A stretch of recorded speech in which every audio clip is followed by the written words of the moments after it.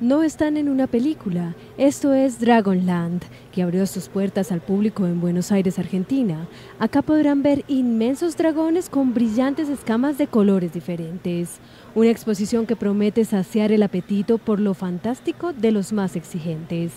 La muestra que no cerrará sus puertas hasta febrero ofrece una serie de 27 dragones animatrónicos, ocho de ellos diseñados por el argentino Gustavo Cabral, más conocido como Ciruelo o el Señor de los Dragones. Los otros grandes reptiles han sido diseñados en base a mitología proveniente de África, América, Europa y Asia. Lucas Capalvo, coordinador general de Dragonland.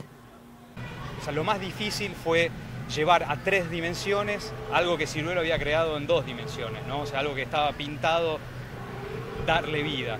Porque todos los, todos los dragones que están en esta exhibición tienen movimiento y tienen sonido. Entonces, la idea es que para los chicos parezcan que están vivos. Además de las figuras, la muestra cuenta con una sala llena de trabajos petropípticos, piedras en las que Ciruelo dibujó basándose en la silueta natural de la roca. Esta exposición ya fue expuesta en París, donde registró una gran cantidad de visitantes, por lo que traer las figuras hasta la capital porteña fue todo un desafío.